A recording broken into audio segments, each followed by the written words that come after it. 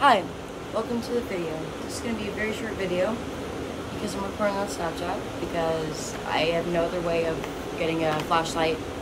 So cheers.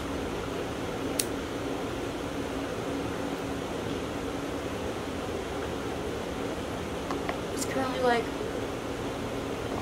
4 or 5 in the morning. But I just wanted to come on here and tell you guys that life is okay and that philosophy exists and that you should look into it. Um, the Edwardian period is very lovely and the fashion was very eloquent and elegant. Um, very good silhouettes.